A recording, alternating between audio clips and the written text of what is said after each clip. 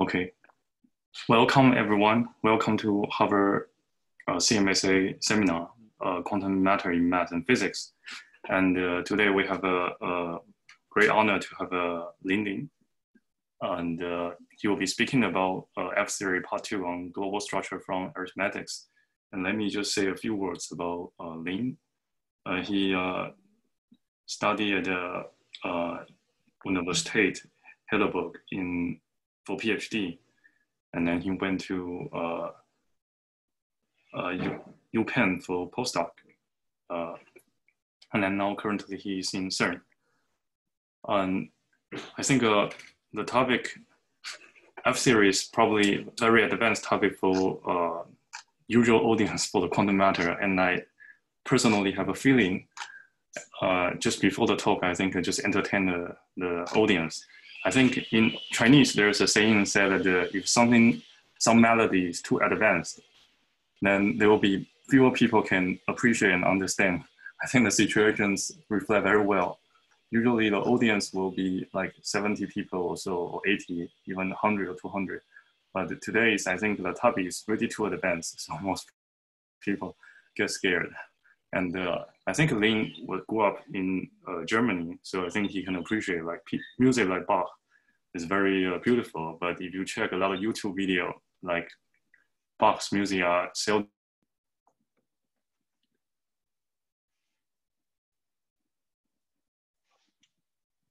take over. Okay, sorry, Juven. Um, sorry, I can't hear you anymore. Is my Oh, you mean earlier you, you were not hearing me? Yeah, I wasn't, but now I can hear again. Okay. I see. Huh. Okay. So should I start? Sorry about that awkward. I don't know what happened. Maybe I say, I do say a lot of things, but probably internet problem. Please. Okay. Oh, thank okay. You. Thank you. Thank you for the introduction and the invitation. I, um, I really appreciate this um, offer to um, give a talk here about some of the works I've done in the past and also more recently.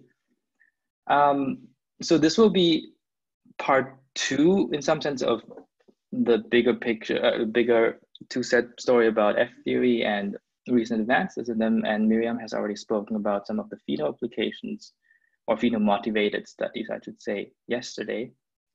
Um, today, I'll be talking more about perhaps some more formal um, aspects um, and the unifying theme behind that is that uh, it, it, has something to do with, as the title says, um, global structures, both in the geometric sense and also in the physical sense. So um, the uh, yeah, some one of the lessons from the past 20 years of studying F theory is that um, there's a beautiful interplay between physics and geometry that F-theory compactifications are teaching us about. Um, and perhaps uh, that something that also appeals to some of the more mathematically inclined people is that uh, some very um, elegant features of elliptic fibrations have been related through F-theory to now features of gauge theories and supergravity theories in high dimensions. Um, and Mirjam has done a great job yesterday about um, with um, informing us about some of the advances for, as I said, for more of a um, phenomenology or oriented um, uh, program. Um, so one thing that um, appeared there was the topic of rational sections. And these have been well studied in mathematics, and they actually lie in the intersection with another part that uh, has probably less to do with physics, namely arithmetic.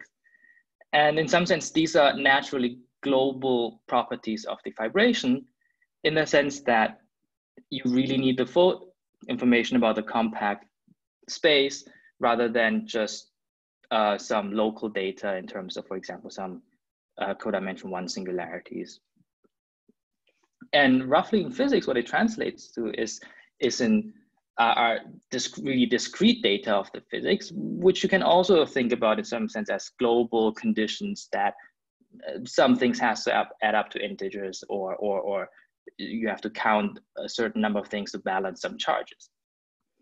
Um, so in particular, what I will focus on today is not so much the story that uh, about um, the U1 gauge symmetries that you get from the sections, but more about the really the global structure of the gauge group. That is to say that I will be concerned about gauge groups whose which have some part Z of the center modded out. So just to give a quick outline of the talk, I will review first some basic parts about the F-theory dictionary between geometry and physics. And then I will give hopefully a um, somewhat uh, basic introduction to the Weyl group of sections so that uh, maybe the melodies of this piece of music mm, can be appreciated more easily to a, uh, to a broader audience.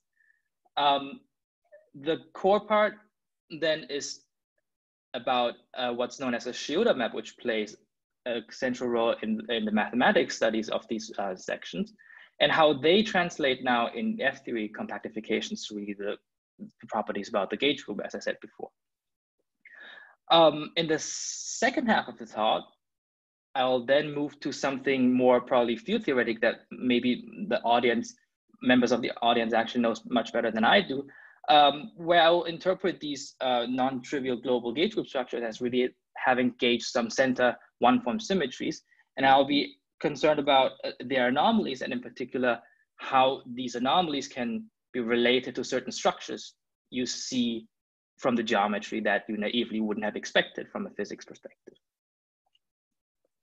So um, since the, the, I guess the audience is fairly broad and also it's a longer talk, I just want to give you the sort of the main aspects of the talk uh, in, in two slides. So in the first part, which is going to be more geometrically oriented and, and uh, maybe to that audience uh, more formal, uh, is that we'll be studying um, rational sections, which are just maps from the base of the elliptic fibration into the total space.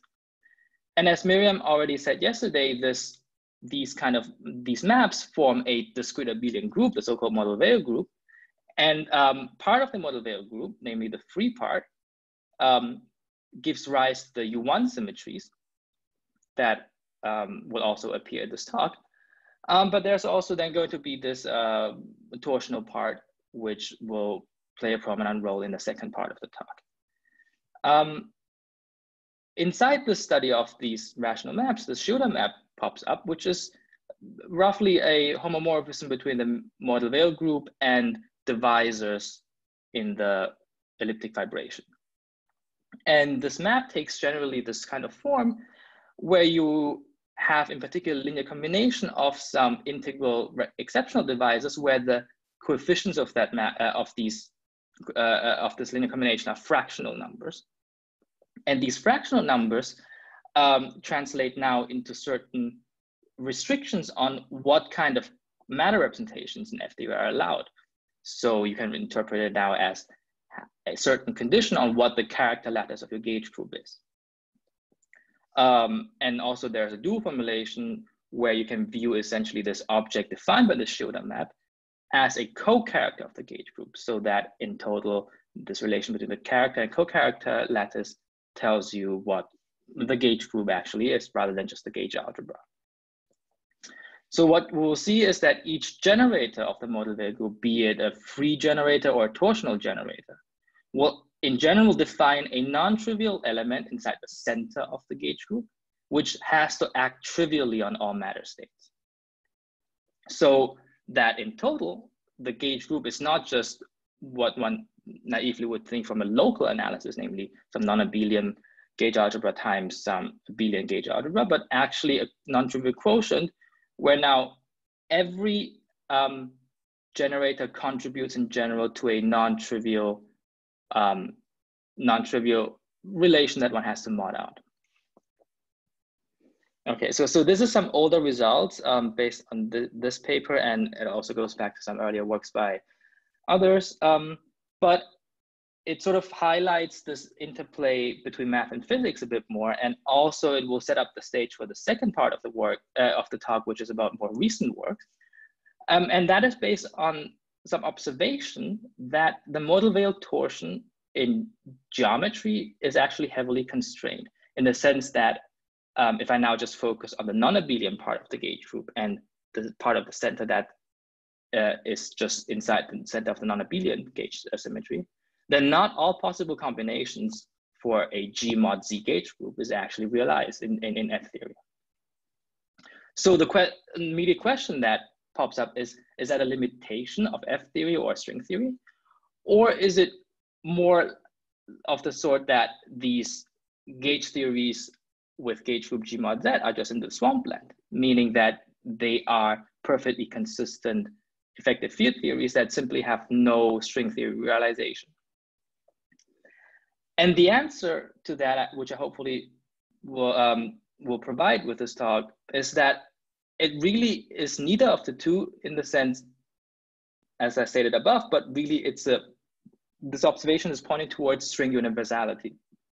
Namely, um, what having a gauge group of the form G mod Z means is that actually you have a gauge theory with gauge algebra associated to the simply connected group G, where you have gauged a one form center part of the symmetry, uh, uh, one uh, gauged a part of the one form center symmetry. So in general, what we'll find is that in supersymmetric uh, theories, in particular in supersymmetric theories coupled with gravity, there will be certain obstructions to gauging this center symmetry that comes in the form of some mixed anomalies that involves ga other gauge symmetries which have to be there for consistency of the supergravity or supersymmetric field theory. Um, and if I now apply this to eight dimensions where the classification of possible gauge groups and Mordell-Weil torsion is known geometrically, what we find is that this requirement that the anomaly vanishes is actually structurally equivalent to the consistency condition for having certain types of Mordell-Weil torsion on K3 surfaces.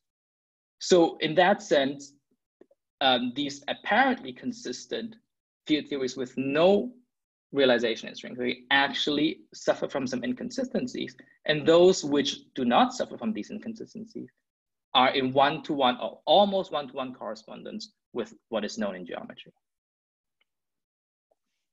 Okay, so um, yeah, this this is hopefully what I want, uh, what I would get to in the next hour and a bit more. So um, if there are no questions up to here, I'll now start with a review of the basic F-theory dictionary. Okay. All right, so um, the basic geometric objects is studied in F-theory is an elliptically fibered compact Calabi-Yau manifold, and we'll take in the following the manifold to be of complex dimension three, four, or five. Um, in these cases, as Mirjam already mentioned yesterday, the non-abelian gauge algebra is related to some uh, certain canonical singularities over codimension one loci in the base. And if I resolve these singularities, I in general get some exceptional divisors which are P1 fibered over these loci where the singularities were previously.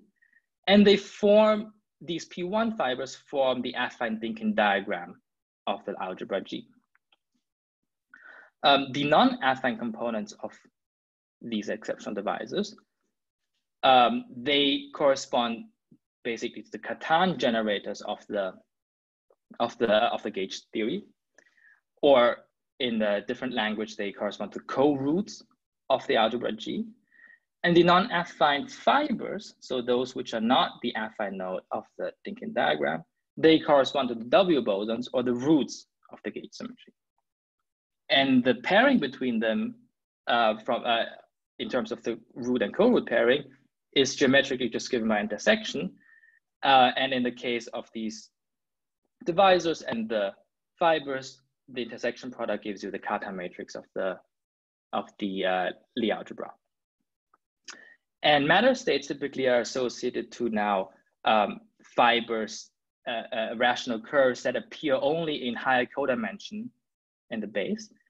Um, and their uh, their their um, if you wish Cartan charge, so the the the, the Dynkin labels that determine the weight of this matter state uh, is just given by the intersection number with these um, exceptional divisors. So this whole story can be understood um, from basically the M duality between M theory and F theory, uh, where F theory uh, or where the M theory compactification on this elliptic Calabi-Yau is the interpreted as a circle reduction of the F theory compactification of this on this Calabi-Yau. And through this duality, um, one can also identify the sources for genuine U1 theories, so uh, U1 gauge symmetry. So you so U1s that are not part of the Cartan subalgebra of some non-abelian gauge symmetry. And these are associated now to divisors, so codimension one subspaces of the elliptic fibration that are sections. So um, what are sections? Sections is basically a rational map from the base into the total space, such that for every point in the base, it marks a specific point on the fiber over that point. And for it to be rational in some sense just means that this point, that marked point in every fiber must have some rational coordinates. So a example that I've chosen here to give is if you imagine that you just embed the generic fiber of these of this elliptic fibration y inside a weighted projective space 1, 1, 2 with coordinates u, v, and w in terms of the vanishing of this polynomial. And here the coefficients b and c, these are holomorphic functions on the base. So now a, a point on that fiber just corresponds now to some coordinate UVW, which satisfies this equation. And for the and furthermore, these coordinates have to be rational.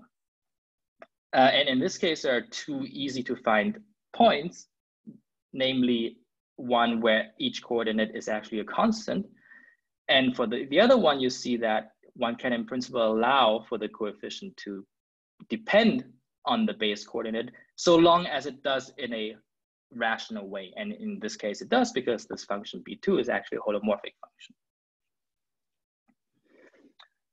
Um, and as Mirjam already said yesterday, the, the group of the, so the set of these sections actually form an abelian group, the so-called Mordell-Weil group. Um, so let me just give you a very basic introduction explanation of what this group actually looks like. So um, the group structure on an elliptic curve you can think about as being inherited from the natural identification of the torus as the complex plane modded out by some two-dimensional lattice. Right, so now I, if I just add points on this complex plane and then push it down to this quotient, I naturally can identify, uh, define an addition on this quotient, which is then identified with the torus fiber. So in this case, I'm not just first now just talking about a single elliptic curve. So more geometrically, you can understand this um, if you uh, express the elliptic curve through its so-called Weierstrass form. So this is just a cubic polynomial with uh, um, coordinates x and y and coefficients f and g, where f and g must be some um, elements of a certain field k, which you can think about in this case just as, for example, the rationals, or say rationals adjoint by square root of two, or, or something like that. Um, and a k rational point just is a point that is labeled by the coordinates x and y that satisfy this equation, such that these coordinates are inside this field you've chosen. And these points are now can be shown to be closed under a addition law, which can be defined geometrically. So geometrically, it's uh, the, the cubic polynomial here defines a curve that roughly looks like that. And any straight line in the plane will generically intersect that cubic curve in three points, possibly at infinity if the curve, uh, if, the, if the cubic takes some special, um, uh, uh sorry, if the straight line lies in certain special positions. And the three points that intersects basically satisfy this rule under the addition law. All right, so A plus B uh, can be geometrically constructed as this point C here.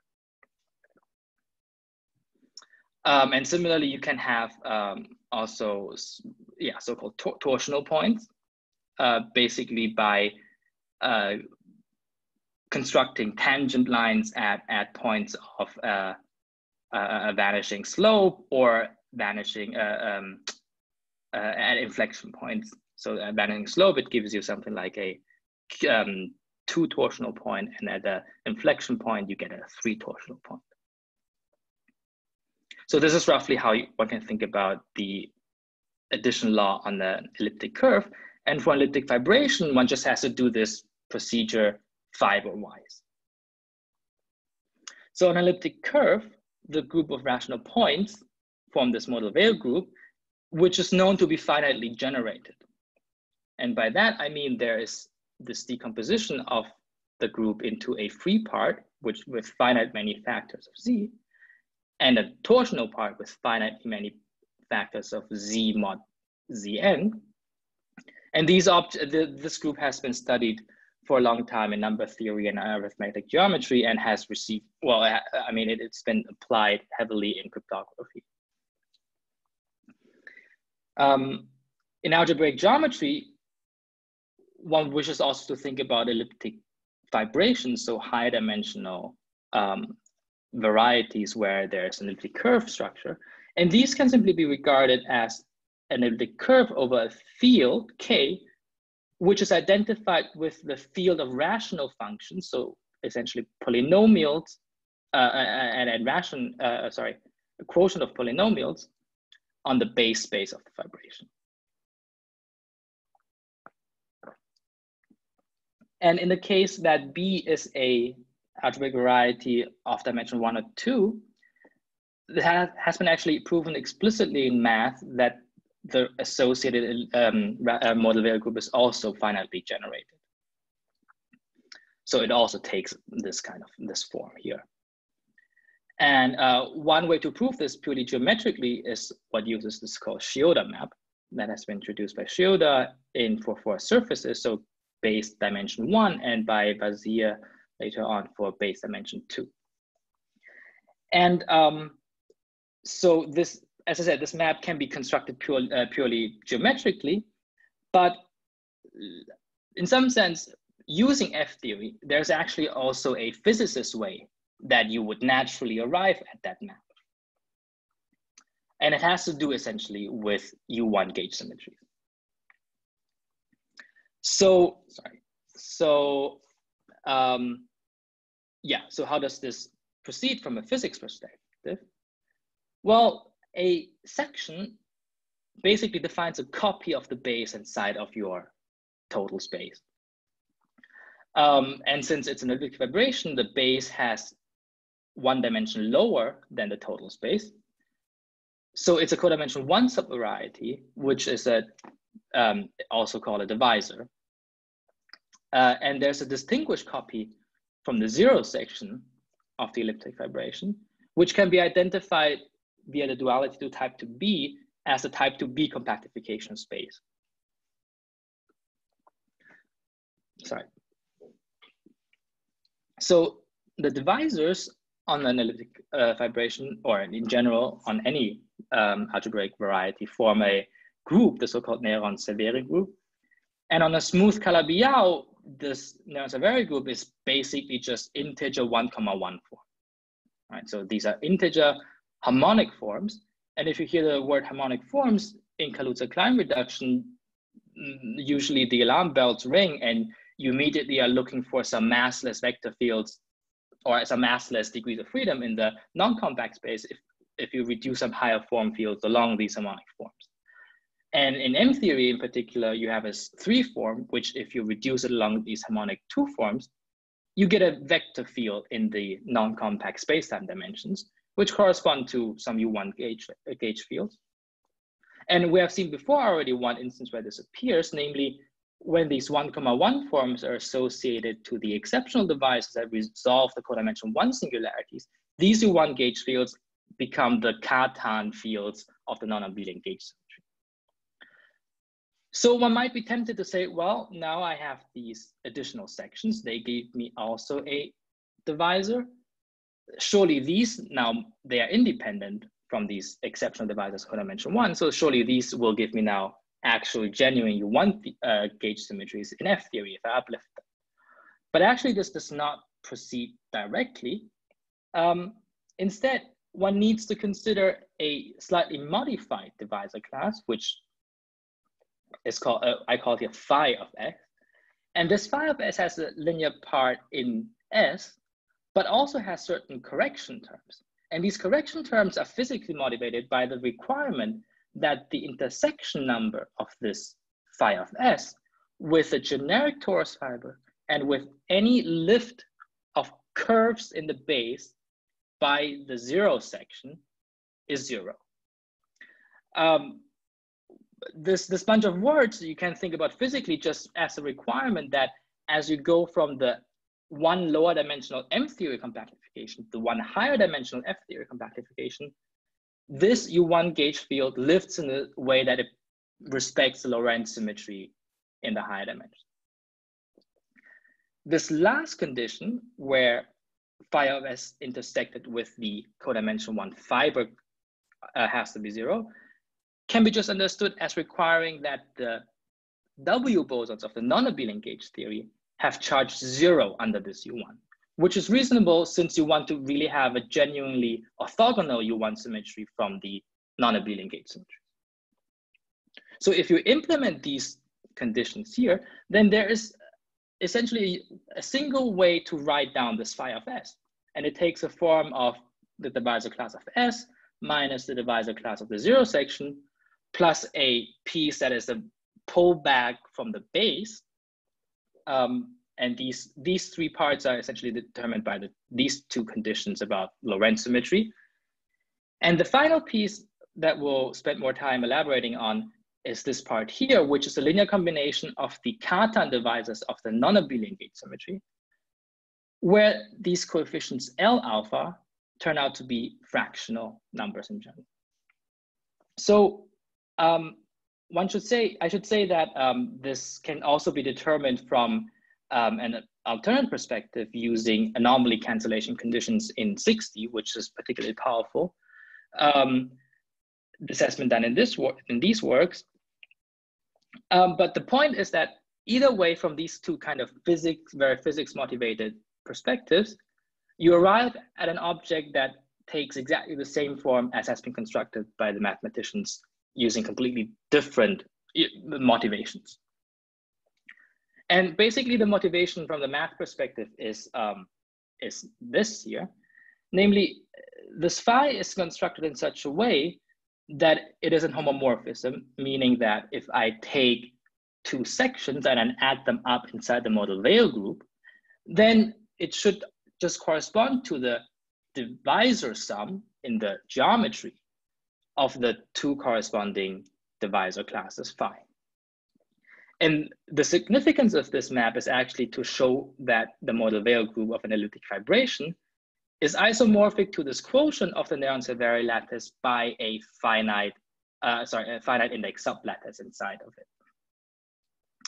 Um, and yeah, why is this important? Well, it is known from general arguments about algebraic varieties that um, the Néron-Severi group is finitely generated.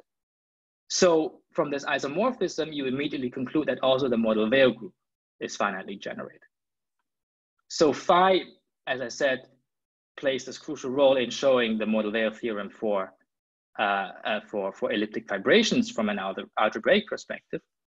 And in some sense, you know, if we had known about F theory maybe 20, 30 years earlier, maybe a physicist would have come up with this map and proved this in, in, in, in, in, in, in passing. Well, not in passing probably, but uh, uh, would also be close to have stumbled across this relationship. In any case, um, let me go back now to the more physics um, oriented um, properties of the Shioda map. So first of all, if I take the Shioda map of a free generator, meaning uh, it's the part uh, z to the r here, then as we just said earlier, the divisor class phi of s will give you a u1 which uplifts properly to a u1 in F theory. And you have, in general, for each free generator, an independent U1. Moreover, the charges of states, which correspond to M2 branes wrapping the some codimension two fibers, can be just computed via intersection theory of that particular curve with that um, with with uh, with the Shioda map of the section. Um, and moreover, since the Néron-Severi group is torsion free, it is also means that phi for a torsional section has to be necessarily zero inside the Néron-Severi group. So um, um, it, first of all, it does not give you an independent U1. Um, one might be quick in concluding that this has then no physical relevance, but it actually turns out to be uh, quite the opposite, as we'll see now. Um, so uh, let me just flash again here the general form of the Shioda map. So first of all, this vertical piece um, is determined um, essentially by the properties of one of the property, one of the requirements about Lorentz symmetry in the uplift. And it can be computed explicitly, but it always intersects curves in the fiber with intersection number zero. So um, for the purpose of the following discussion, they're, they're rather uh, irrelevant. On the other hand, this piece in the middle um, is quite crucial. Uh, namely, these coefficients L alpha, they are fixed by the requirements that the W bosons of the non-abelian gauge symmetry are uncharged under the U1. And they can be explicitly computed by this formula, uh, where you notice that the inverse of the Cartan matrix associated with the gauge algebra appears. And because of that, this quantity L alpha is in general fractional if the section S and the zero section do not intersect the same codimension one fibers. So if that number here is non-zero, then you will get some fractional coefficients L alpha. So for example, if just think about the gauge algebra being SUN, then in general, these L alphas will be fractional numbers over N. Um, so now let's just take this explicit um, expression here and rewrite it slightly by putting S minus S0 on one side and phi and this combination L alpha on the other side. Then in terms of intersection numbers, this part gives you a linear combination of the U1 charge and the Dynkin labels of the weight, but it comes with these fractional coefficients. On the other side of the equation, you just get an intersection number between a holomorphic curve and an integral divisor. So you know this has to be integer. So now you get a correlation between the U1 charge and the Dynkin labels of your state under, uh, under the non-abelian algebra related by this integrality condition, which for in general fractional L alpha is non-trivial. Um, and this also applies straightforwardly to the case where the section you consider is torsional. In this case, as we said, phi of S is zero, so there is no associated um, U1 or U1 charge to speak of. But nevertheless, you see that the equation now becomes just about the integrality of this particular linear combination of the Dynkin labels of the weight. So in other words, this restricts the possible representations in which these weights transform in. So um, more abstractly, one can understand this in, uh, integrality constraint as a non-trivial co-character of the group of the algebra G and the U1 that has been introduced to the Shioda map. And um, because now you have to require that any character, so any allowed element of the weight lattice has integer pairing with its co-character, this restricts the possible allowed representations. And you can show straightforwardly, um, as we as has also been done in these works, is that for each free Mordell-Weil generator, this co-character defines now a central element, an element of the center of G times the U1 that is generated by the section, such that this center element acts trivially on all representations. And the order of this center, center element uh, is just given by the smallest integer such that all the um, fractional coefficients inside the Shioda map um, multiplies to an integer with this coefficient. So for example, in the earlier example of SUN, in general, K uh, kappa is just N. Um, the same story applies for the torsional sections, uh, except that in that case, the center element just sits inside the center of the non-abelian gauge group. And the order of the center that is defined by the section is just the order of the torsion inside the Mordell-Weil. Okay, so in, sorry.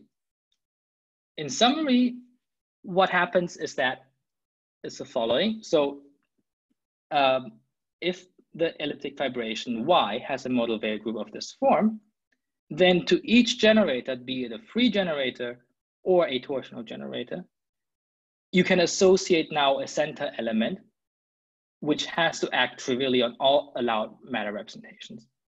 And this means that the gauge group now should really be the quotient of the simply connected or, or the, the uh, simply connected non-abelian times the U1 modded out by all these center elements. Um, just to say that while in the presence of the torsion, each of these orders are fixed, it can of course be that uh, a free element generates a trivial center. But um, yeah, so, so, so. Ling, can, can I ask yes. a question? Yes, please. Um, so for each free more, so for each uh, uh, Mordell-Weil generator, we get uh, a quotient. We, we, we, we for, for, for each torsional generator, we, we quotient down the center. Could it be that mm-hmm. we get an additional quotient on the center of the actual gauge, gauge group, which is not coming from a Mordell-Weil die? Yes, very good. Um, I guess in principle that's possible. So let me say differently. Like in, in this first work by um, Timo and Dave Morrison and company, they've only looked at the um, torsional section. Mm-hmm. Right. So so they concluded that the global gauge group is G times U1 modded out by the torsion part. But actually, as we've shown, no, also every free generator gives you such a relation. In principle, I don't know an argument if there might be other such relations imposed on the theory from other geometric objects. Okay. That's right. Okay. Yeah. Thanks. Uh, just maybe a, a, small comment because it was related to Miguel's question yesterday. At this point, right, uh, because you applied it, say, for any SUN, mm-hmm. there does not seem to be bound on the type of torsion yet.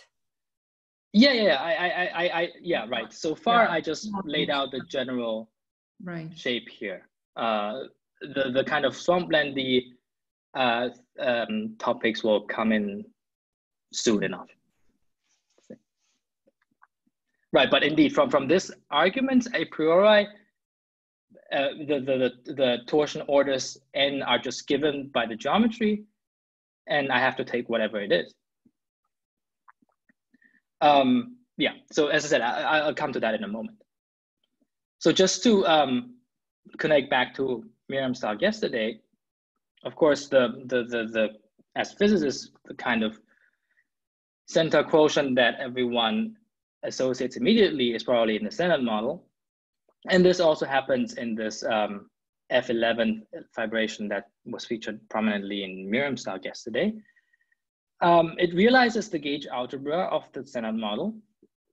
And furthermore, it has a U1 gauge factor, uh, uh, factor. So there is a single modular generator S1, and its Shioda map takes this form. Sorry, this here should be an SU3. So you see in particular that since there's a one half and a third, the smallest number that can I multiply these with so that I get an integer is six. So by the previous analysis, it means that this Shioda map defines for you an order six element inside the total center of this gauge group. And therefore the actual gauge group is the quotient by Z6. Um, and one should also say that this notation is a little bit sloppy in the sense that one really should actually specify how this subgroup Z is embedded inside every one of the centers.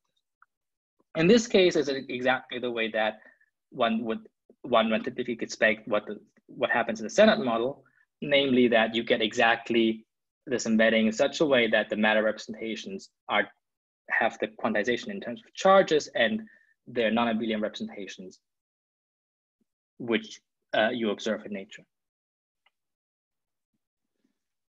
Okay.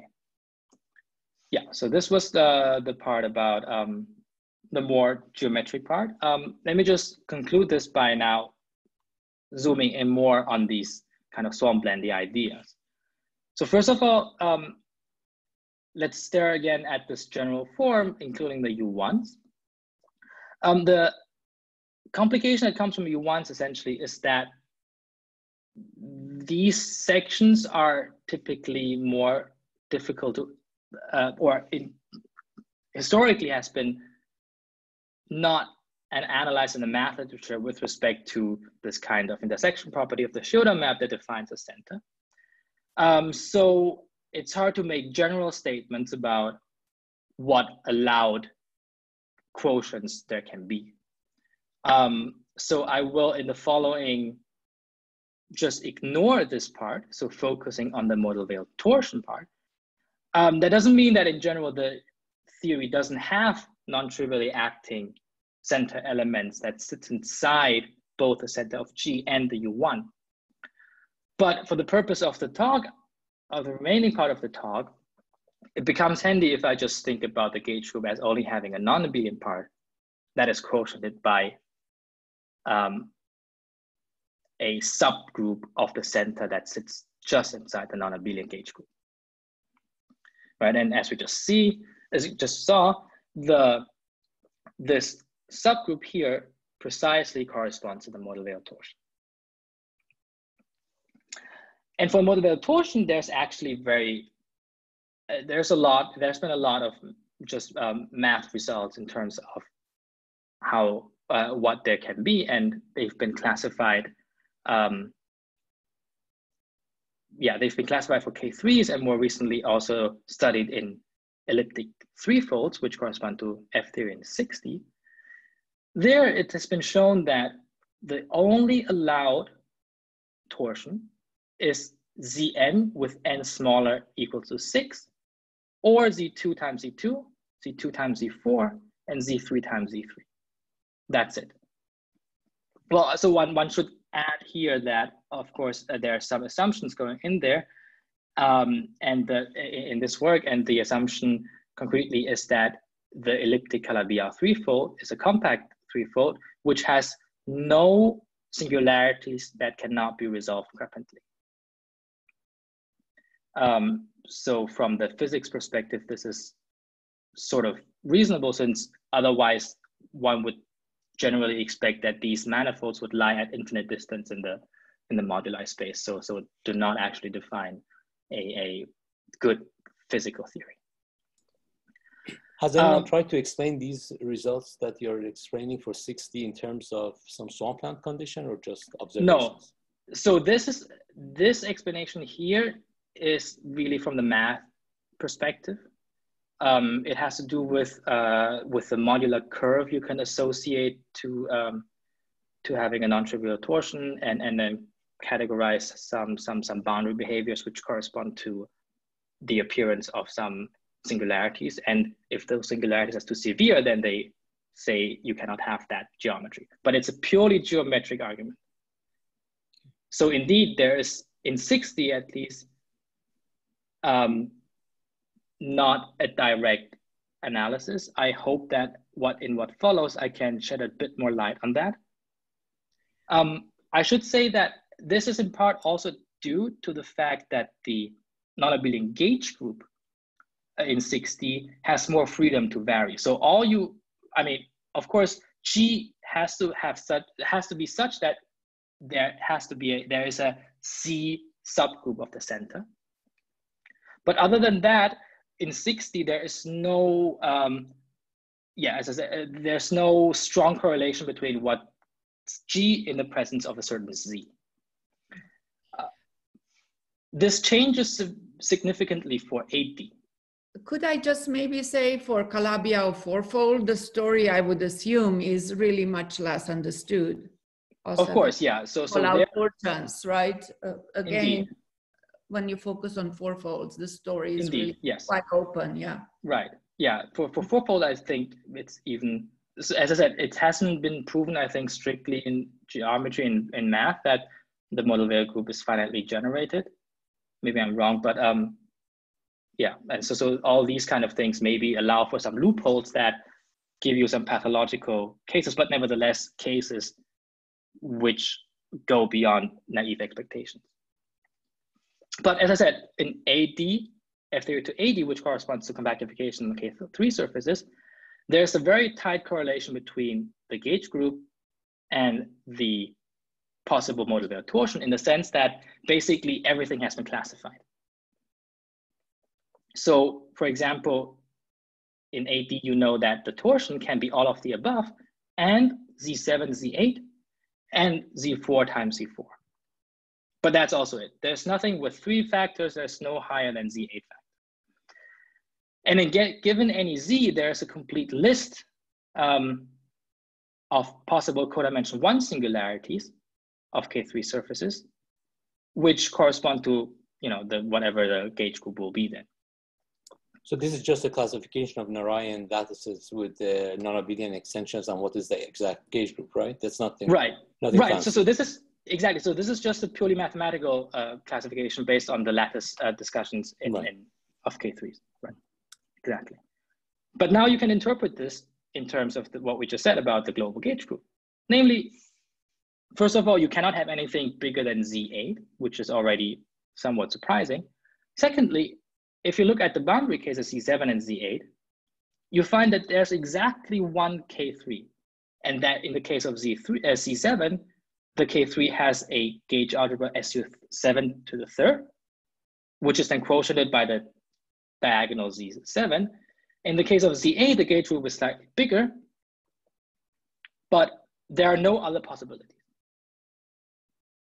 And similarly, for, for the boundary case of Z4 times Z4 or Z3 times Z3, also the possibilities are severely constrained. And for lower cases, you get more, but by far not all naively expected things from F theory. So for example, why is SU9 mod Z9 or any SUN mod ZN for that matter not realized?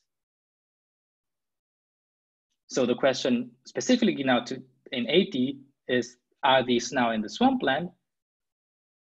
Or meaning that they are just not realized in string theory for some deeper reasons? Or can we make this more precise? So in the remaining part, I hope I can answer that yes, we can do that, make that more precise, and actually show that our field theoretic constraints that explains almost all cases, I should say almost all cases, which are not realized geometrically or in string theory more general. Okay, so um, before proceeding, since we'll now talk about these uh, uh, one form symmetries, maybe I should pause here in case anyone has questions about the geometric part.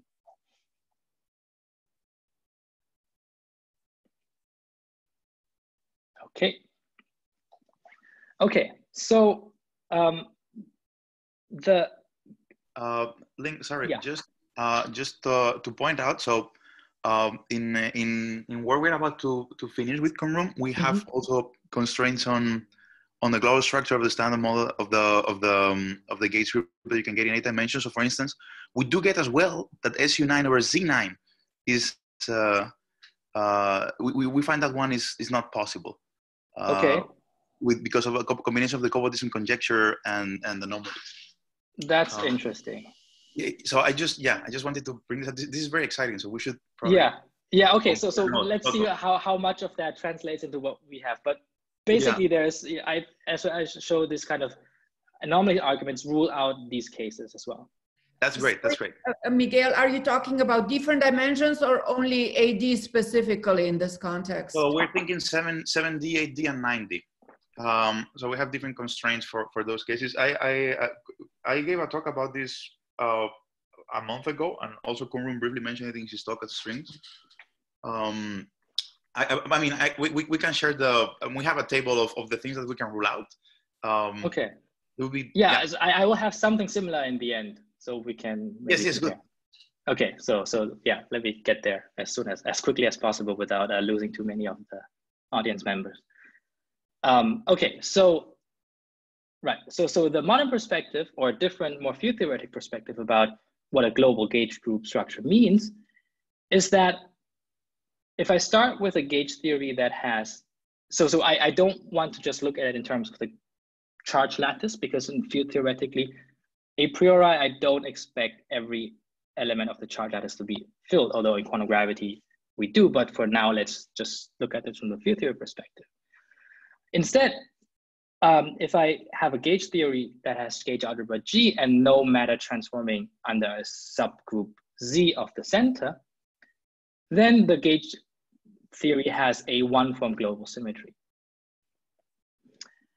Um, and the difference between the gauge group G and G mod Z is actually just in terms of what we allow for the um, for the for the gauge fields as we sum over them inside the path integral. So for gauge group G, I'm summing over all possible um, configurations corresponding to principal G bundles. But for G mod Z, I should sum over instead G mod Z bundles.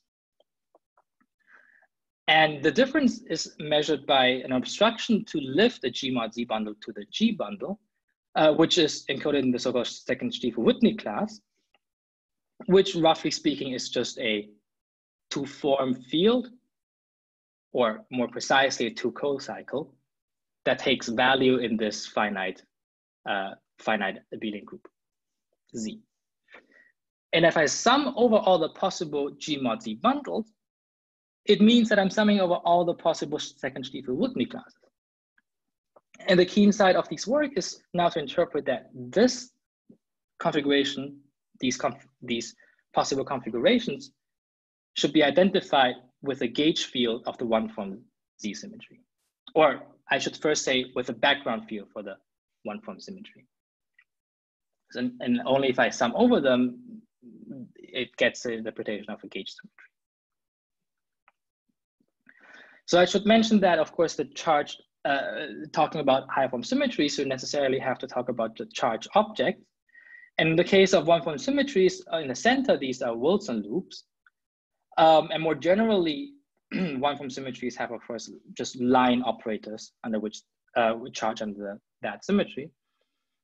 And um, one can study these also in um, field theory constructions from M theory or type 2B are non-compact LRBLs, which correspond to just uh, five-dimensional, four-dimensional supersymmetric theories where gravity is decoupled.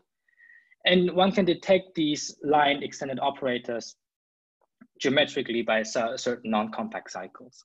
And um, there's been some uh, recent works by, by, these, by these groups.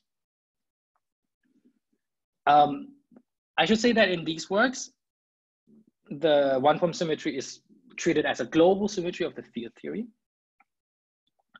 But what we want to do now is really think about when we can promote this global symmetry to a gauge symmetry. So in general, the story is that this can only be done if the global symmetry has no anomalies associated to it. More precisely, one should formulate it in a way that says that basically the partition function of the theory cannot have any ambiguities once I turn on a non-trivial background for this global symmetry. Because if that was the case, then these ambiguities would make the theory inconsistent. So this just forces me plainly to not having any background fields and if I don't have any background fields, then I can also not sum over them in the partition function. So for the center symmetry Z, G, a non-trivial background form for the one-form symmetry induces a fractional shift for the instanton density. So roughly in, in some suitable normalized way of the instanton density, this fractional shift is parameterized by this cup product, or more precisely, it should be the Pontryagin square, but roughly speaking, it's a quadratic operation involving this background field. And the fractional fractionality is measured by this coefficient alpha g. And for SUN, for example, it takes this form n minus 1 over 2n. Now, if you couple this instanton density to something which by itself enjoys the symmetry, then this fractional shift here will in general lead to some ambiguities of the partition function under that symmetry. So the case where this has been studied a lot is in four dimensions, where the coupling, uh, the, the relevant coupling is the theta term, uh, the theta angle coupling to the trace f squared. And the symmetry that I'm talking about here is loosely speaking the periodicity or the discrete shift symmetry of theta. So in particular, if I take as an example a gauge group G equals SU2, then the instantons are integral and the um, periodicity of theta remains 2 pi. But if I now change the gauge bundle to SO3 bundles, which is SO2 mod Z2, then the instantons acquire a fractional part. They sit now in half integers. And consequently, this messes with the periodicity and changes it to 4 pi rather than 2 pi. Um, so this story now, we have generalized or tried to generalize to higher dimensions. Um, and in particular, let's start with the discussion in 6D, um, which will appear in a work with Fabio Apruzzi and, um, and Markus Dierigl hopefully soon.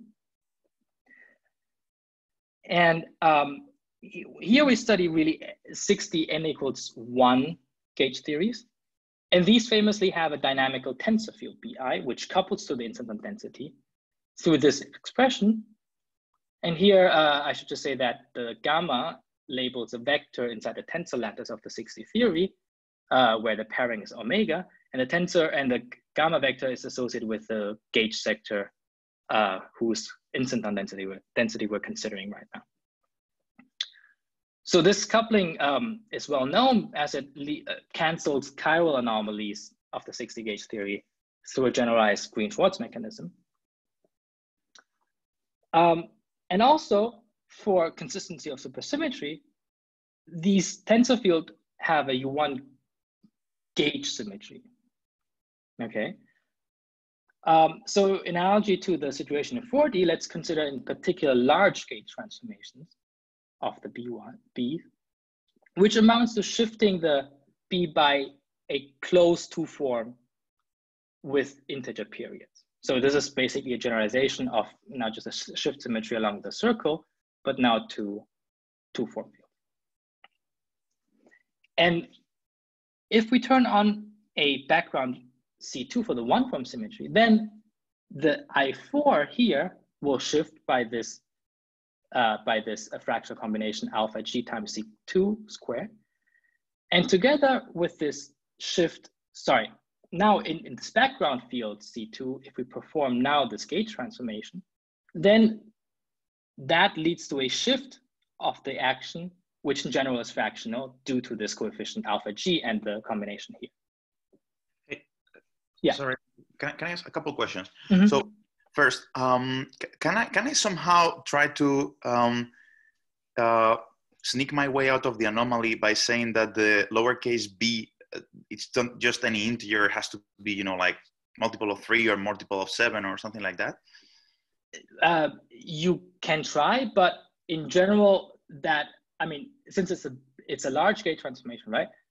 Sorry, oh, it's a gauge right. transformation. You have to allow for all possible Right. So that, that, that's what I'm saying. I'm saying that it depends. Uh, the, the the value of b depends on the charge quantization, but I guess that's given to you by the lattice, by the right, by the yes, tensor. Yes. Exactly. Right. right. Okay. Good. So uh, so let me say it differently. I, I, my interpretation is that actually, basically, like the smallest increments you do here in this shift, that's defining for you the charge quantization of the strings. Okay, good. And it has to be because it's six dimensions. Has to be a. It has to be a. A self-dual lattice, right? Not necessarily even, but self-dual. Is that right? Yeah, right. Uh, yeah. Yeah, and, and the other question that I had is: Is it possible? So whenever you have an anomaly in a discrete symmetry like this, one should worry about possible topological field theories that might cancel the anomaly. Right. Very good. Yes. Uh, I will get to that in a second. Okay. Um, but the, the point is that this cannot happen. Great. From Thanks. various perspectives. Indeed. Right. So, um, so just to conclude this uh, slide here, what essentially happens in 6D and 1, comma 0 theories is that the partition function suffers now from an ambiguity if I perform a gauge transformation for these tensor fields in the presence of a background field for the center symmetry. Right. And as Miguel was just saying, okay, could it be that this anomaly is canceled, absorbed by some counter term, some topological um, sectors? And we've shown, we argue in the work that this cannot be done. And in terms of the counter terms, you can see it by just realizing there are no um, local counter terms that you can add, which are invariant under the one form symmetry, that absorbs this um, fractional contribution.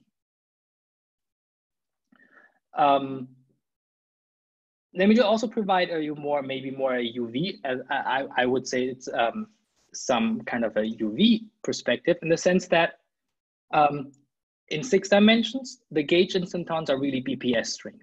And as Miguel just said, they have they come uh, with a quantized string charge.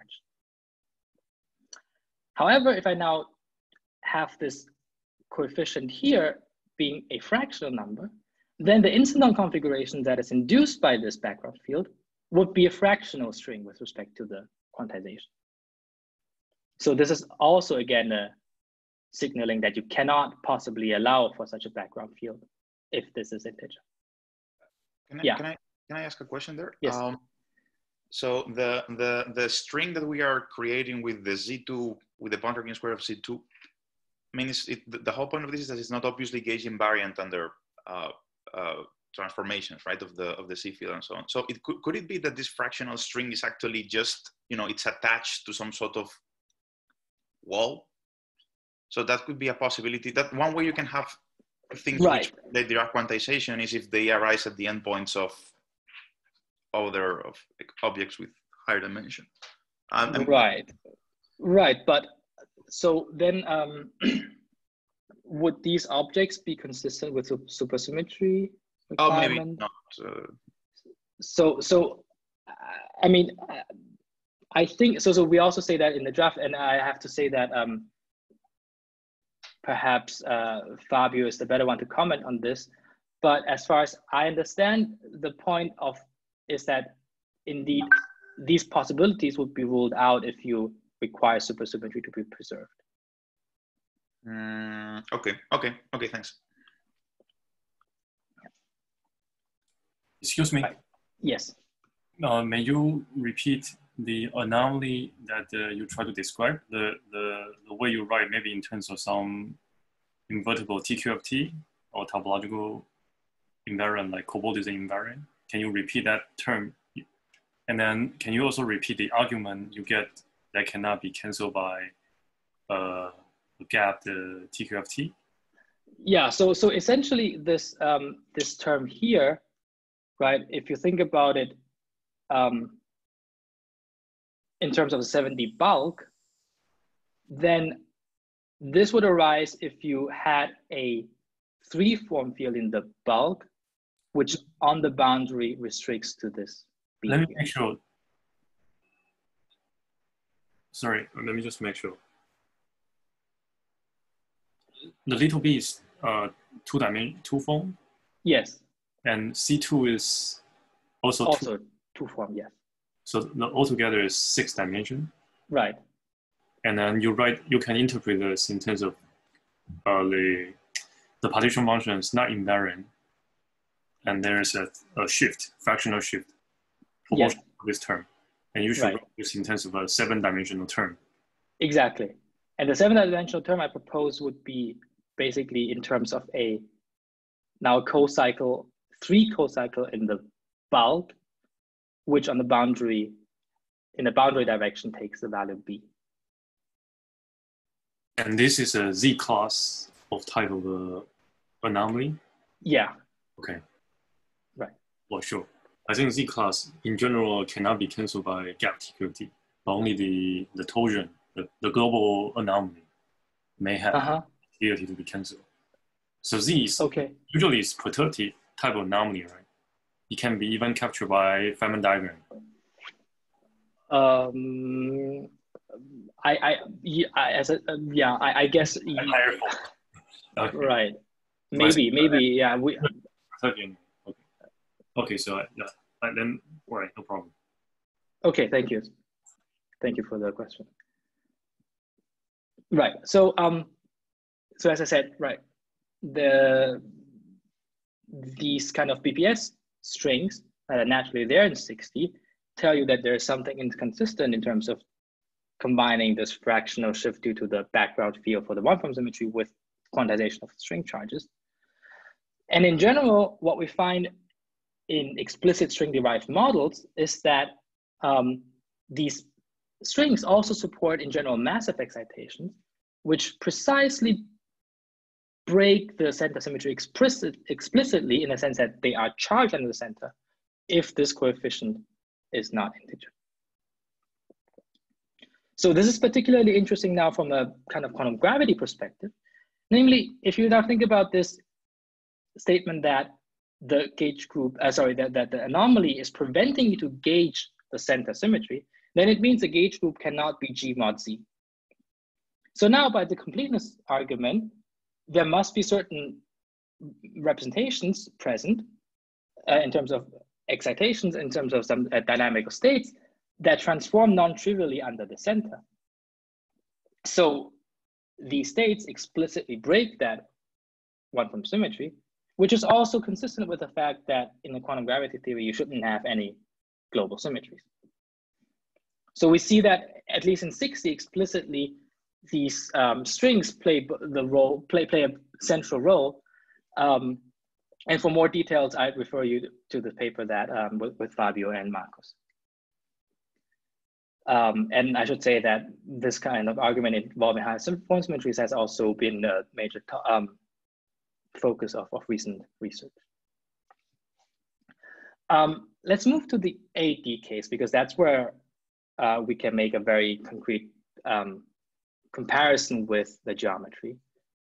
Namely, in eight dimensions, there are only adjoint fermions in, in, in n equals one supersymmetry. So naively, any gauge theory should have a Z form, a Z one, uh, one form symmetry. Um, in, in, in, in just plain 8D gauge symmetry, there is no obvious uh, coupling to the um, involving the instanton density, at least not um, in the uh, vector multiplet. Uh, but if you include the gravity multiplet, so really talk about 8D supergravity, then there is a natural coupling between a four form that is dual to the usual two form inside gravity multiplet and the instanton density.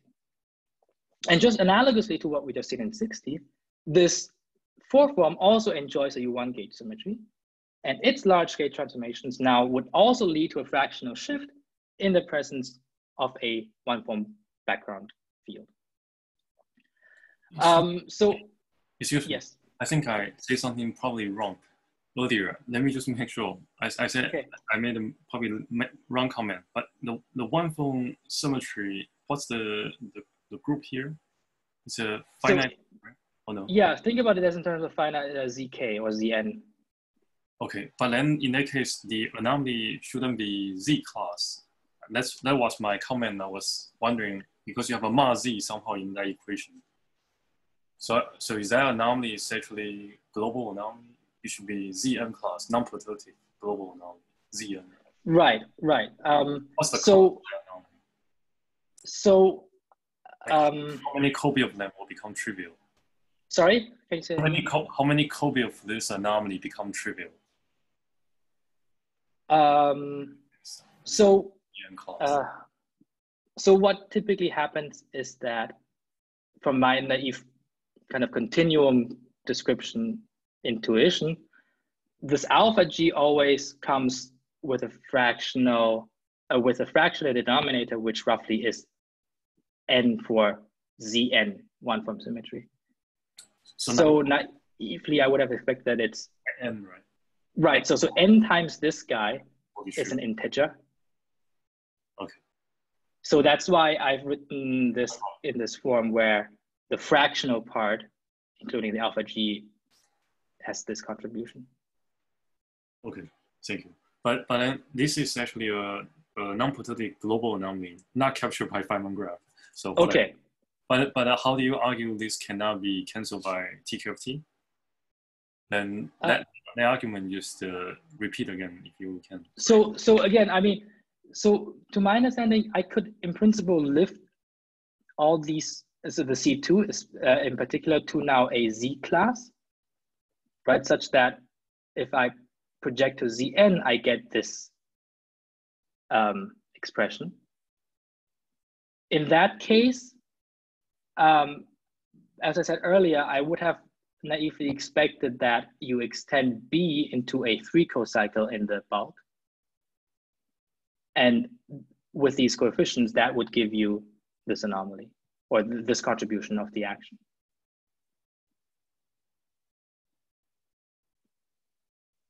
Does that make sense? Mm, I, I, need to think a bit, but but I, I think uh, probably I get the meaning of this term.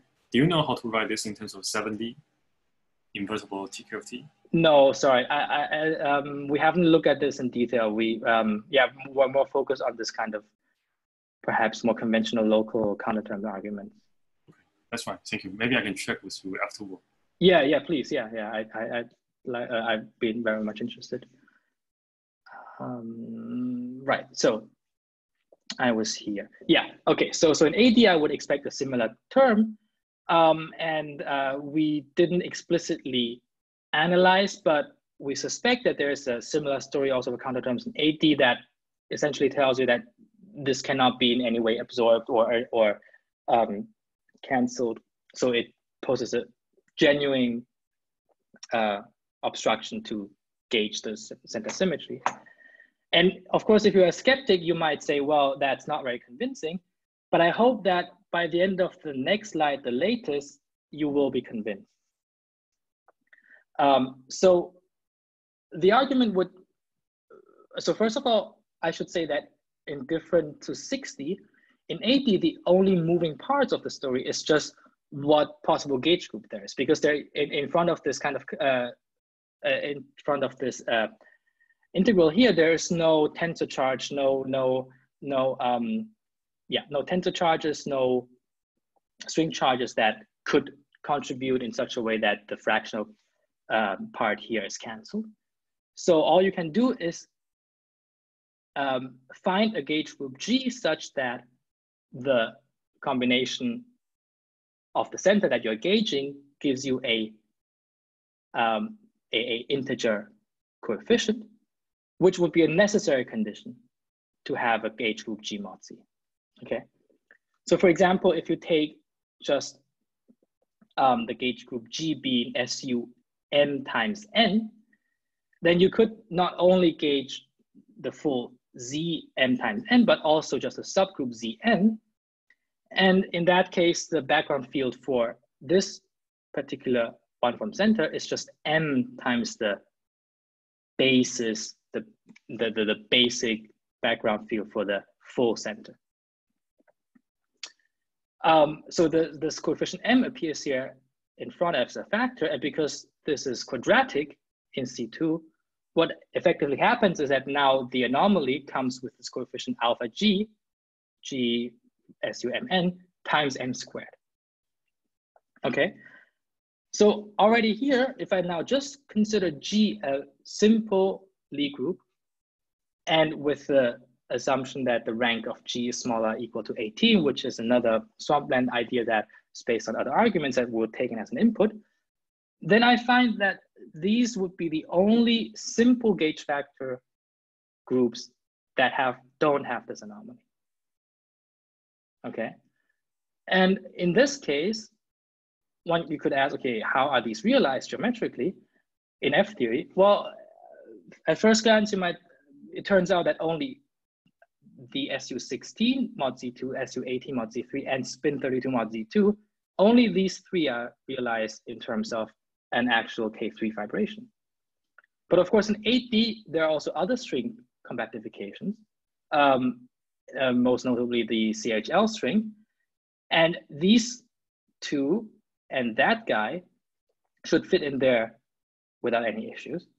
Um, I we suspect that also uh, these SP mod Z2 should be in there, although um, we haven't checked that explicitly yet. But um, sorry, Lin, can I ask? So you're saying that uh, so in the in the CHL string you can have SPN groups. You're saying that these things these guys are allowed actually. Yes, right, exactly.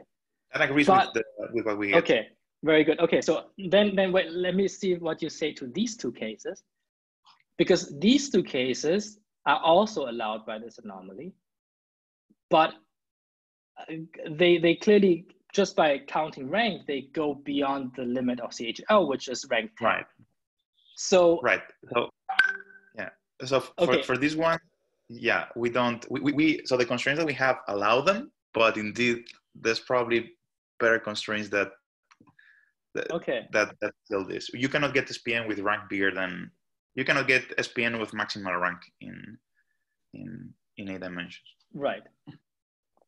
Indeed. So so I, I agree. I would have also said that because of the rank argument for CHL, those two are not realizable, but from this anomaly argument, it seems they are.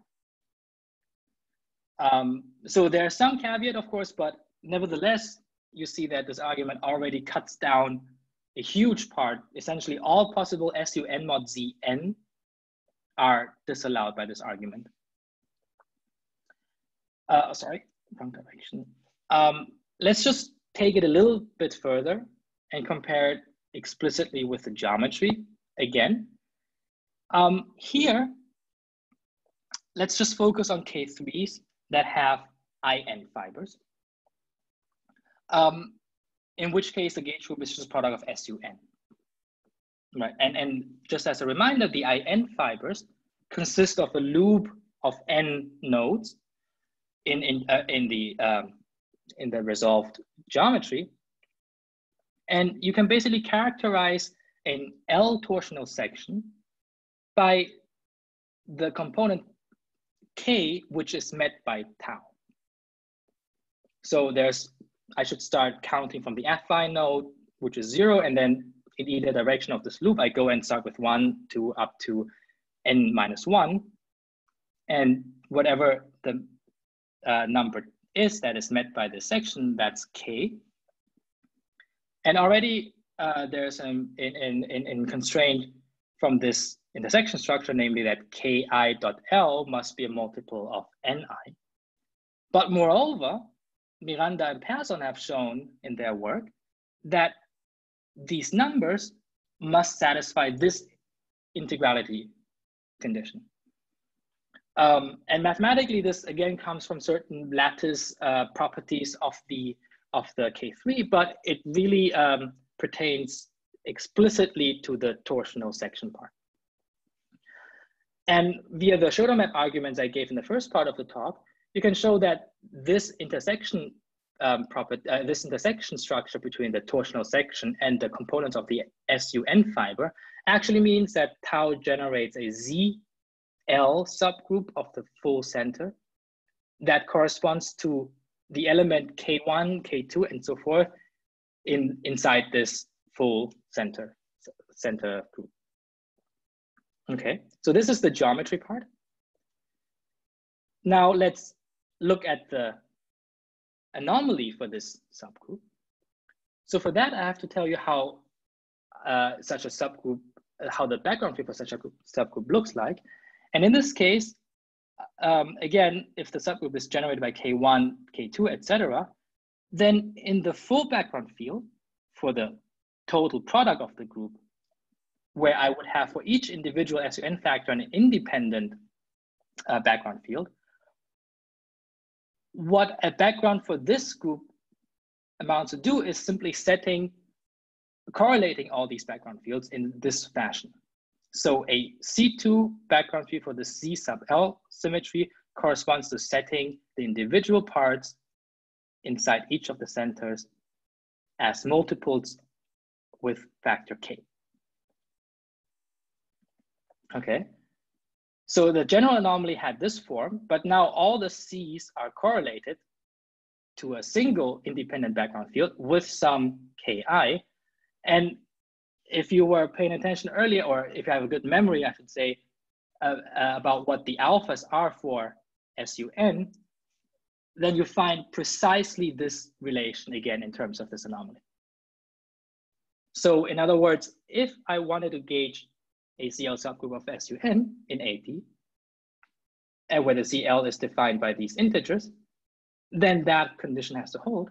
And if I go and look in the geometry of F theory uh, of a K3 surface, I find exactly the same relationship for torsional sections, which I know also correspond to some um, subgroups of, of the center. And by the, um, by the first part of the talk, we know that in the F theory interpretation, the torsional center, a torsional um, Mordell-Weil group corresponds to having a uh, non-trivial gauge group structure modded out by this subgroup. And this precisely then corresponds in this case now to having a anomaly free one form symmetry. So with this explicit equation, one can also now check the bounds that I said earlier. So particular given a concrete L, so I'm looking at Z sub L one form symmetry that I want to gauge, then I can check just simply from this uh, exhaustively all the possible configurations of SUN subgroups, uh, SUN gauge groups and embeddings Ki into their center such that this condition holds. And for the uh, for this um, rank bound, uh, if I introduce a rank bound, I get can make this um, yeah. There's a basically a finite set of possibilities. Um, and just to say that the scan is exhaustive also for non-SU groups, um, because the anomalies for non-SU groups can basically be written as contributions of several SU subgroups inside that non-SU. Um, so, uh, right, and the um, the uh, this this condition explicitly fixes for the cases of L equals seven and eight the only solutions that we have already observed in geometry. And furthermore, it also, just by exhaustively going through this exercise here, you find that there are no solutions within the rank bound for L bigger than eight. So as I promised, this is a very strong evidence for string universality uh, for possible allowed G mod Z subgroups, at least in 8D n equals one. Um, right, and uh, I cannot claim, unfortunately, it's a explicit proof because of like these kind of smaller caveats we already seen earlier, and I will comment on more in the next slide, just to mention briefly here that it's kind of expected though that um, by this condition, I'm probably not catching all the geometric restrictions, at least from K3, because just because not all lattice conditions for K3 just reduces to this condition here, of course. But also, we've seen earlier, not all 8D theories come from F theory. So maybe cases by that are missed by F theory can realize somehow differently in 8D. But nevertheless, this strong correlation between these two conditions, just at the formal levels, already, at least to us, a pretty strong evidence for this claim. Can I can I yeah. can I say something? I, I just I, I think first I think this is beautiful. Uh, Thanks. And and and, and second, um, so so first of all, you you you does this? I mean, this also works for CHL strings, sort of, to some extent. Uh, yeah, I mean, the formula should work for CHL strings. right. I mean, it's a pure field theory argument. Right, right, but the, but the, but it also matches K three constraints, right? Like you K, yeah. Right, right. Uh, okay. But, yeah. And and I also wanted to to know is is there is there any way to phrase these constraints just in terms of the charge lattice of you know, uh, so an 8D theory has an Narain charge lattice, right? Which mm-hmm. secretly encodes it's a different way of encoding information you get in the K3. Yes. Is there, is there, is there like, a, the, how, what do these constraints look like from the point of view of the charge lattice? It's a very good question. I think um, this would be something worthwhile doing basically immediately and just try to translate all these kind of lattice conditions into field theoretic conditions. So as I said, this condition for the torsional section intersecting with reducible codimension one fibers is also derived somehow from a lattice condition of K3, right? And, and, and what we've done, what we've done is essentially showing that this corresponds to this particular field theoretic constraint. What right. I don't know. Yeah, I just wanted to, to uh, what is, so these constraints from the lattice perspective, what is the principle? What are they imposing? Are they imposing that the lattice is, you know, self-dual or something like this? So, or? so, so uh, I cannot get this everything in detail, but basically the idea is that um, you can define a sublattice of the uh, of the homology lattice of K3 that is spanned by the IN fibers, right? And then they show that on this um, the sublattice, you can pull back somehow the intersection pairing from the homology lattice, which you can then interpret as a quadratic form on a abstract discriminant group, which they call it, right? Uh, so, so, these are bounds. So these are bounds on the properties of the discriminant group. Yeah, yeah, yeah exactly. So this comes from the discriminant group bound. Okay, that's or yeah. yeah. That, that is that also has connections to weak gravity and. Uh, okay, very that's very cool. All right. Yeah, as I said, I mean, we sort of just scratching the surface, but I thought when we stumble across this paper by Miranda and Persson that has exactly the same structure, exactly the same equation, I thought it, it, it yeah, it was already pretty exciting to, to share with. It's super cool. Yeah, thanks. So as I said, um, it's, it's not quite string universality in the sense that there are some caveats. Um, one we have seen already earlier is that these SP groups seem to be okay from the anomaly perspective, but are not realized in terms of known string constructions. So perhaps there are some more subtle 8D anomalies for SP groups, and there's already some hints towards that in this work here, although that's a somewhat different flavor of anomalies. In, in, in fact, actually, they argue that these anomalies should be canceled, but they don't know how to cancel it. Um, so probably there is some more subtle story in general for SP groups. Can I make a comment there? Yeah. The, the, the anomalies that they talk about in for, for SP groups in there, uh, they, they don't know how to cancel them with a TQFT when they're talking about uh, the, the theory in, you know, in eight dimensions. But if you compactify on a sphere as they do, then the, the anomaly gets canceled because of the Bianchi identity. If you put mm-hmm. an instanton as they need to do to see the anomaly, you also need to put NS branes to cancel the to cancel the tadpole, and that gives extra contributions which which cancel the anomaly. Right. Okay. Uh, but in 8D, they don't know how these kind of things can be added, or or what's the? They, they, they don't they don't know how to do it directly in, in 8D, but mm-hmm. uh, but it's it's understood. I think it's understood why this is why the anomaly they find is not an obstacle for the existence of yeah, this. right. Uh, it's, it's an example of a, you could say it's, a, it's an example of an 8D field theory, which is inconsistent because it has an anomaly, but it gets consistent once it's coupled to, to gravity because of the Bianchi identity. So it's kind of like an anti-swampland. I see, I see, very cool. That's very cool. Okay. Right, anyways, um, let me just uh, finish up here.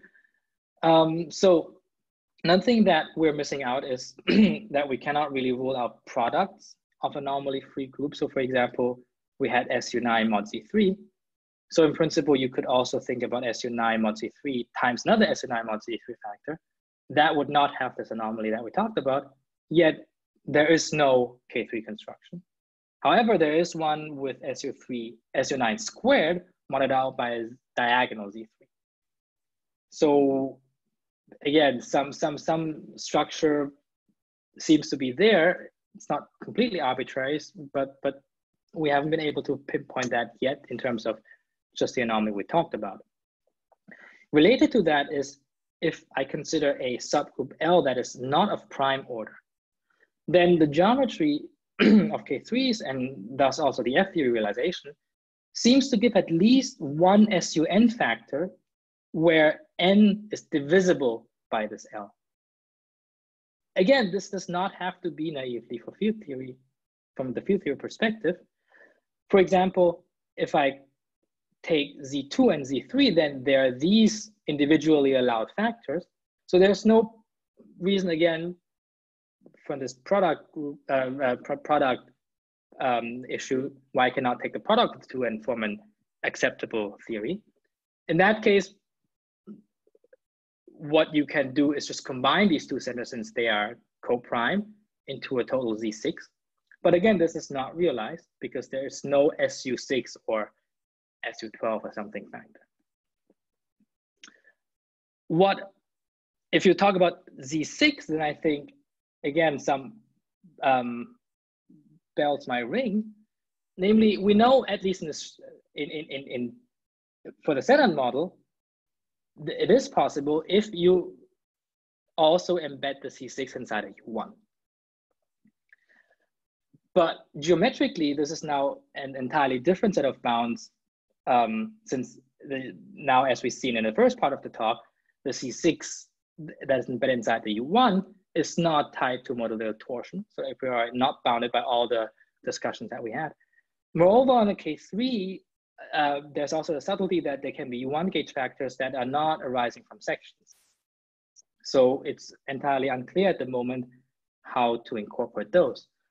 But one thing that I thought might work is that perhaps in some way you see that if you couple these two things together, secretly there must be also a U1 which participates in this Z6 quotient. But as I said, this is just a hunch and I have no idea how to show it yet.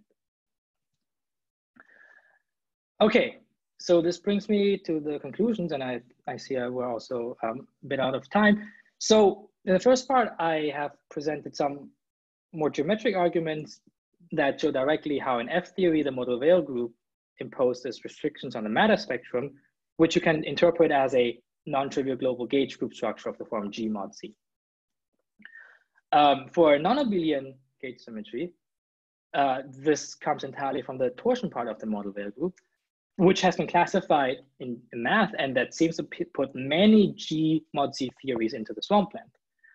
Um, to verify or to, to say definitively if this is true, we looked at field theoretic constraints for having a G mod Z gauge theory, which uh, based, which is based on the premise that one has to have a gauged one form symmetry, which necessarily has to have no anomalies. And in 61,0 theories, we've seen that these anomalies also uh, lead to an interesting interplay between strings and the complete and other swampland quantum gravity constraints. um, for 8D N equals one, these constraints become sharper also in geometry. Um, and one can compare explicitly and see that almost all the swampland G mod Z that we found earlier actually have an anomaly. So um, this brings me to the further uh, direction that we should pursue, namely that it's clear that there are some caveats that we've seen and highlighted, and this points towards additional constraint that go beyond this anomaly that we studied. Um, and in general, of course, if you think about the standard model um, and the phenomenological applications, we of course must include the U1 factors in this uh, in, in this discussion to have a complete story. Mm. Similarly, um, I think what also would be interesting is to verify this kind of charge lattice argument that I've presented for why a, a F theory has in general this non-trivial group structure in terms of really a explicit one form symmetry um, description. So if you think about the um, discrete zero form ZN symmetries, there has been, took some while in the literature, in F theory literature to, to really understand them in terms of the F theory duality, because what could happen was that once you go down to M theory, there was no ZN zero form gauge symmetries anymore, but uh, it's hidden more subtle in the geometry in terms of what also Mirjam mentioned yesterday of the Tate-Shafarevich group or in general with Calabi-Yau torsors. Um, so it's conceivable, though probably equally hard in this case to make that uh, make the one form discrete symmetries precise through the MF theory duality. What I haven't mentioned at all is what about the dual magnetic symmetries? Right, so if you have an electric high form symmetry, you should have a magnetic one high form symmetry. And in 6D, those would be three form symmetries, and 8D, those would be five form symmetries. Um, they are also constrained by quantum gravity in the sense that they must either be gauged or broken. In particular, if the gauge group is just G, no quotient, then they must be gauged. So the question is, what are there any, and there probably are, but what are the obstructions to gauging them? And it's clear that, again, from the F theory example with Z7 or SU7 cube, there must be some, since there is no SU7 cube theory, so, but only the one where you have gauged the corresponding one form symmetry. So it'll be interesting to study that uh, in this context as well. And there are many other things that I haven't had time to mention. I'm sorry if I missed out um, some important references, but um, in any case, since I'm running over time, let me just thank you again for your attention. Okay, thank you very much. Vielen Dank, Lin. Uh, any question from the audience? Yes, I have a question. Very nice talk. Uh, very, very uh, powerful ideas. So uh, one question I have is that you have, if I understand correctly, you're uh, using the gauging of one form symmetries as somehow having anomalies as a way to uh, rule out certain theories. Right. Could you have ruled out, uh, so, so, so that might naively say you cannot rule out the group by itself, only the center quotient thing, but maybe you can apply to other examples. For example, we know in, uh, in higher dimensions, like in 9D and so on, G2 does not appear as a gauge group in the landscape. And uh, you might say, well, that has nothing to do with the considerations you're having, but maybe it can be related it by viewing so, G2 as SO8 mod out by Z3 outer automorphism. And the question is that if you apply your ideas to outer automorphisms, can you rule out G2? I think this would be, uh, I, I, haven't thought about this uh, in detail, but indeed, um, this would be uh, suitable, a, a, generalization from that, these kind of considerations. I, but for, for those auto automorphisms, um, I, I don't know a priori if there are similar kind of shifts of background symmetries, etc., background fields that can be phrased in terms of anomaly. But it, I think I, I probably as, as quantum gravity teaches us, if you have some symmetry, there must be some background field that tells you in case they are okay that you can gauge them. So I'd expect that there should be some interplay also with these kind of discrete symmetries floating around, but I haven't, yeah, it, I, I think it's just scratching the surface of all these things. Okay, thank you. Um, I, I, just have one basic question. Um, thank you. Very nice talk. Thank you. Um, for when, when you describe the anomaly in terms of realizing this quotient group as the result of taking the original group engaging a one form symmetry, could you also just compute them by look by computing the global anomaly with the proper, you know, the, the quotiented gauge group structure and not having to talk about this procedure? So um, I think I think what this kind of turning on background field pr uh, perspective tells you essentially is that um, if you start with this quotiented group right away, then there are instanton configurations in that theory, which are fractional from in, in, with some respect to certain quantization conditions. And, and, and if that quantization condition is now in our case tied to another symmetry, which for consistency of the theory has to be gauged, then that right away gives you the anomaly or the, the, the ambiguity that, that forbids you to turning, that tells you that this thing is not consistent. So indeed, sure. from that perspective, you don't have to start with SUN and then mod out that. And I think it's just owned to the, to yeah, the, the, the way that this, this has been approached in, in the Morpheus theoretic literature. Good, thanks. Uh, earlier you talked about some anomaly between uh, one form symmetry in six dimension and uh,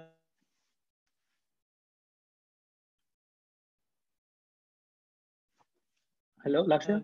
Uh, gauge symmetry, uh, two, form, uh, two form gauge symmetry? Yeah. Sorry, uh, you broke off for a bit. Can you repeat the question? Yeah, uh, earlier in sixth dimension, you were talking about an anomaly between one form symmetry and uh, a gauge symmetry. Mm-hmm. Uh, is there is there a simple example of 6D SCFT where this shows up? Yeah. Where you where you mean this this anomaly shows up? Well, yeah. What would be a simple example of a 6D SCFT where one form symmetry So- has an anomaly? Yeah. So for example, if you just take um, E6 E6 conformal matter, right? Okay. This has on the tensor branch this SU3 in the middle, hmm where you don't have a priori any massless hypermultiplet that's charged under it. So you could think that it has a, S, a Z3 one form symmetry.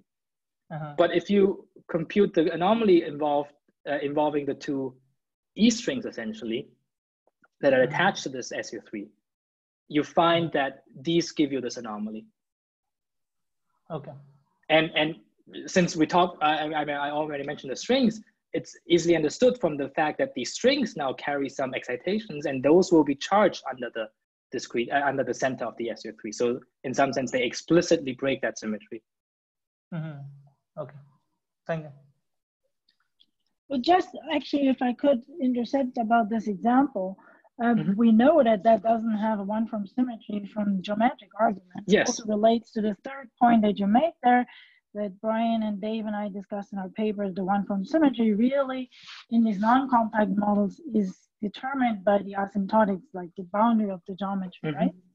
Right. So in that sense, that is sort of a confirmation of that rather than yes, absolutely, absolutely. So so you so see that these strings actually are charged and they break the one form. right, Ex- exactly. Yes. yes. So in fact, what do you actually mean by this uh, mapping between M and F duality? Because uh, in M theory, you understand this again from these asymptotics of the So okay, so so what I mean here by this, yeah, what I mean here by this MF duality is really now, you know, think about what we did with this multi-section stuff, right? So in here, I, I really had in mind the this kind of torsional section that takes this Sure. weird Shioda map, and I want to really now make the statement that somewhere hidden in the Shioda map, I can read off like a one form symmetry, uh, one form, a, a- discrete gauge field for the one form symmetry.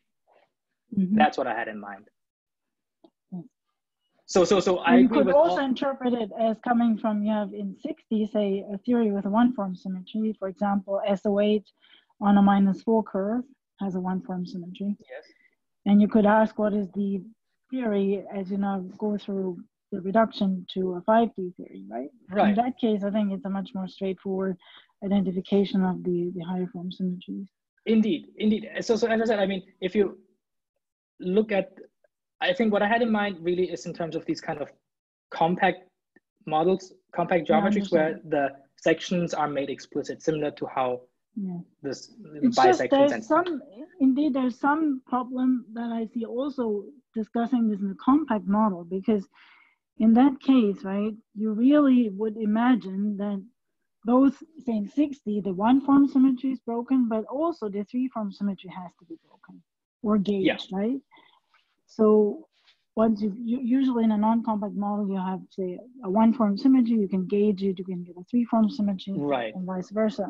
exactly. So I yeah. think in the compact models, um, indeed, this is mm, a slightly different discussion. Right. So so at some point I, I, I was wondering about in compact models, right? What is the how does the geometry tell you which of the two or what the isotropic subgroup of the two is actually gauged? Yes. Because you know something has to be gauged. No, I don't.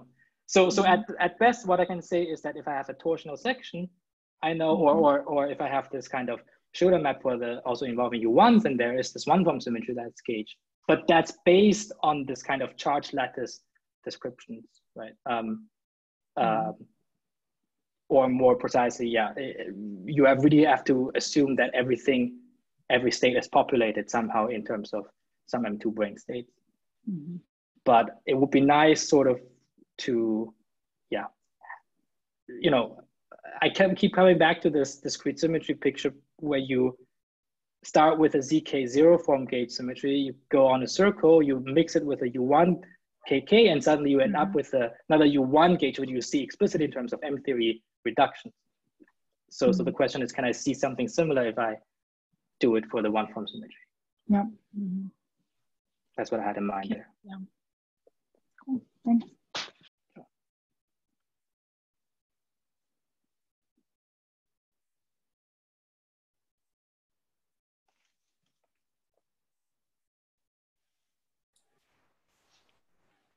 Any more questions, comments? Uh, well, maybe just a minor comment. I mean, the hope is that, you know, in A dimensions, you also have higher form terms in principle that couple, right? And also what uh, comes there more prominently is coupling between this gauge degrees and the gravity itself. So uh, there is a hope that uh, one could in principle retrieve some more constraints also right. from this analysis and that right. you know coupling to gravity at, at some level should Indeed, be further yeah. uh, put further stronger constraints but these are just you know words at this point not concretely right. realized yet i mean so are these so but i think it's yeah it, it, indeed there are many open questions so i haven't mentioned it here of course but other topics that are naturally connected are now mixings with other higher form metrics. For example, in 6D, you have the defect groups, um, and in 8D, I don't even know what, what they are. Um, but then the question is, could they somehow conspire to give you some higher uh, two group, three group structures in this kind of story? So um, all that is, is, is still completely out there as a, on the to-do list.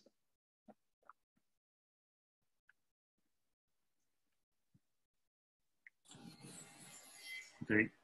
In any case, I think we should thank uh, Lenin first and uh, more questions we can ask later.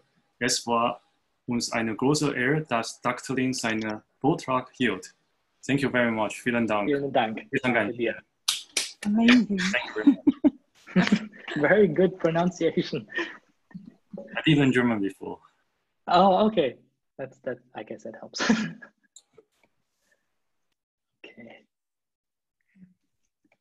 Thank you. Yeah, thank you for for for the invitation. I hope I hope I